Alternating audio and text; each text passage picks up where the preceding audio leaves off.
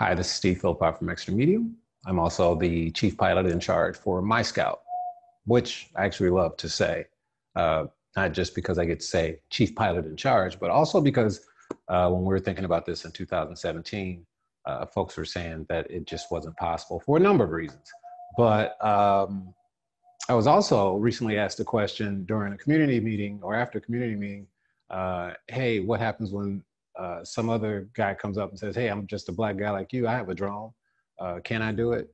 Um, and thinking about some of the tragic violence that's going on in the city, I thought, well, if that's the case, why not share the blueprint for doing it, right? Let's move beyond man-made limitations. We saw the data.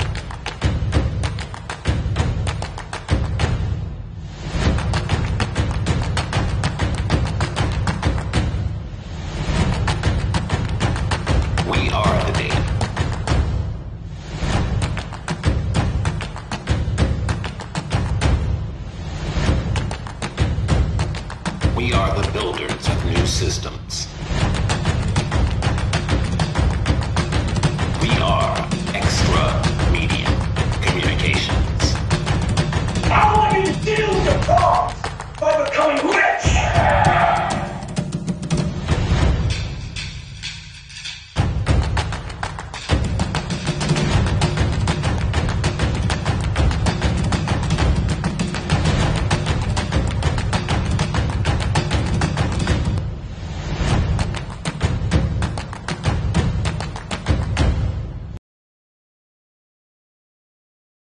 So uh, when I started flying in, um, oh, I guess it was probably June of last year, I this thing started flying a little uh, drone, and that this is what most people I think think we're talking about when we talk about drones. And you know, you could build this for probably $125. You could buy it for, oh, I think uh, a couple hundred dollars, right? And it operates uh, through an app on your phone that allows you to see what the uh, camera on the drone is seeing. uh, so this is, uh, for the most part, a hobby drone.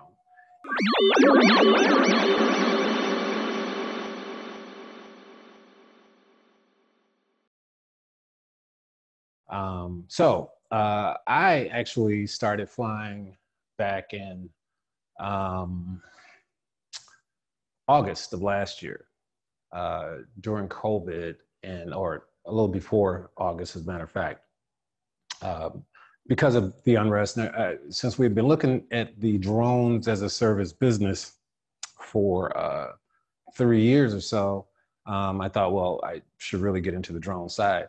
Now, the the guy that came up with the idea, Demetrius Brown, was uh, had the foresight, given his background in emergency management, to say, "Hey, these drones uh, should be used in a number of different ways to help protect public safety. I am a longtime resident uh, of Inglewood, and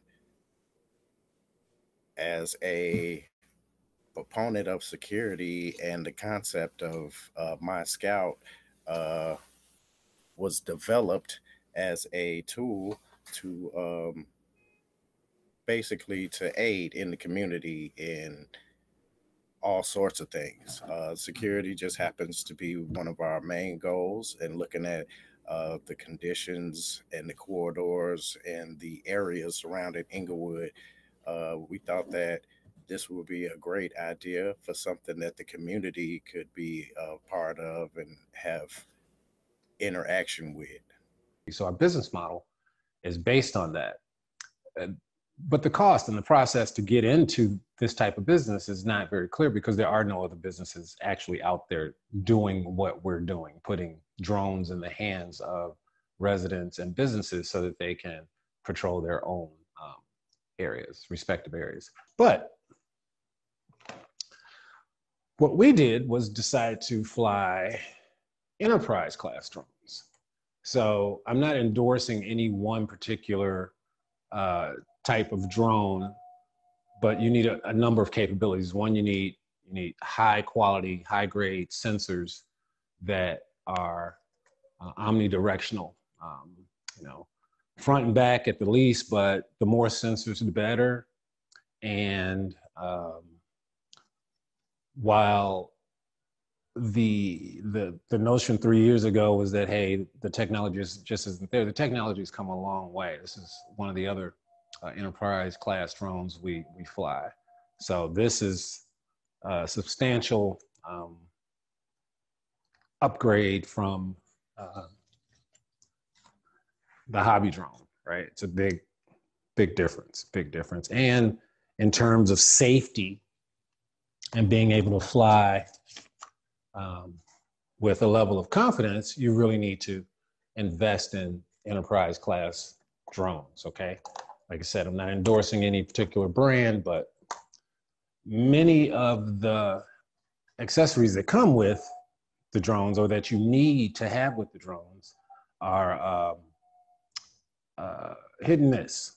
So you really want to know what you're going to get. So with the the class we got for the remote, we got the enterprise class remote. This one is is um, compatible with the other drone, and it also gives us the ability to see um, a lot more uh, and, and, be more flexible in what we're trying to do. Also, if you're going to fly, make sure you have uh, lights, different types of lights that you'll need for whatever your mission is going to be. You need additional strobe lights. Um, I like to fly with a set of, you can't see that, okay there, a set of antenna extenders, so signal extenders, and it's not just so your drone can go further, because you, really can't fly more than, you know, certain distance anyway in this commercial airspace, but it is to help thwart against electronic interference, right? So you need to know about that. So in September, I actually went and got uh, my pilot's license. And so that's another thing you need to do. You need to study to get the Part 107, the FAA Part 107 drone license so that you can be certified as a remote pilot so that you can operate these drones commercially. You can certainly buy the drones, you just can't operate them uh, for a fee. Um, also, you'll need to uh, have some additional equipment for your own uh, comfort. So, one of the things that I find real important is, of course, the strap for your controllers, whether it's the that type or this type, sorry, of controller, you want to get the best, uh, you can't see it well, I'll put a picture. You want to get the best straps you can get because uh, in this business, you'll be flying uh, three hour rotations in most cases. Um, and so you're out there for quite a while. Lastly, you'll need to do community engagement. People don't want you flying over uh, their homes and, and things of that nature. And so you have to have rules that you can present to the community, the rules you follow a flight. Um, and those rules are the way you should fly. So if um, you tell them, hey, I'm flying uh, in, in, a, in a way that I'll never capture any of your information, you should be able to clearly express that and clearly show that in the way that you um, demo your product. Um, also, you need to understand that uh, drones have uh, come a long way because of farmers. Really, they want to see more of their farms without, you know, buying more equipment, spending more energy to get around. So drones really came from that. And so the the requirement for flight, a long flight, is like 30 minutes, right? So that's what the battery life, a good battery, typically has at least 30 minutes. And those batteries are about you know, they run about $200 each for 30 minutes. So think if you're going to be running three hour uh, uh, missions or at least three hour rotations of missions, you're going to need a lot of these batteries. So we suggest um, to have uh, six batteries per bird, whether, you know, whatever, but make sure that they're intelligent batteries that one, they stay heated, two, they tell you when they're getting low and six birds per area if you're flying a three mile area. Now, if you're just doing it for your house, then I don't know how you're going to do security and work and all the other stuff. But if you're doing it as a business in an area, you're going to need more, you're going to need redundant number of birds because the number of cycles is finite. The number of times you can use a drone across a, a distance at speed and, and the wear and tear uh, you need redundancy to make sure uh, to ensure the safety of the flights.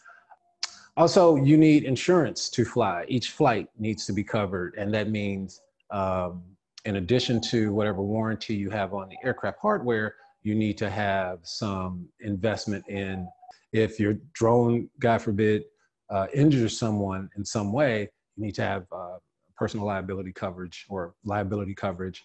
Uh, we have up to a million dollars per occurrence, up to 15 million. So you need to have uh, insurance uh, also. And when you are flying commercially, flying a drone commercially, you are indeed a commercial pilot and you have to adhere to the rules of the sky.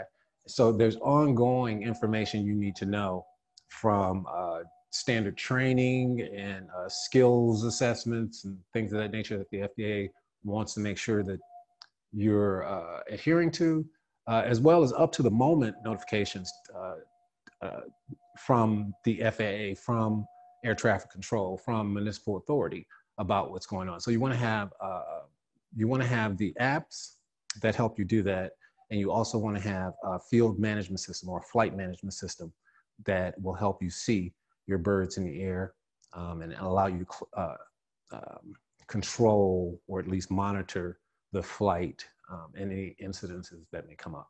It, when you're looking at the cost of the actual enterprise drones, the ones we look at run between 25 and $4,500. The remote controllers, if you bought them separately, are about $1,000 each. Um, batteries, like I said, are about $200. Then you have the accessories that in the enterprise class, they typically come with them. So things like the, the, the speaker for crowd control or, you know, spotlights to kind of freak people out or whatever you're gonna do. Um, so uh, so that's the cost to do it. And there's also the actual training on your bird. You actually need to know how to fly a drone um, confidently, well, and absolutely safely. So you have to have a, a number of hours of flight, ongoing flight, to just hone your skills of flying. So uh, the cost to uh, benefit ratio is not there unless you have scalability um, you can, as you scale, look at bringing in additional money from uh, photography, real estate, building inspections, things like that, uh, if you wanted to get into the business. And if you still needed that level of protection, and you didn't want to go through all the nuts and bolts to get into the business, you could just call MySkaut.